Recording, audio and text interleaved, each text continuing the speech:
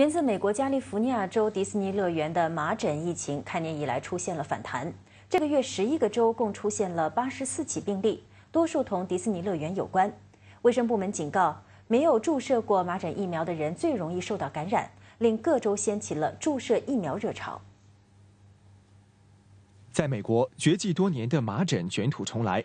加州迪士尼乐园所在地奥兰治县的一些学校要求从未注射过疫苗的学生暂时不要上学，以免疫情扩散。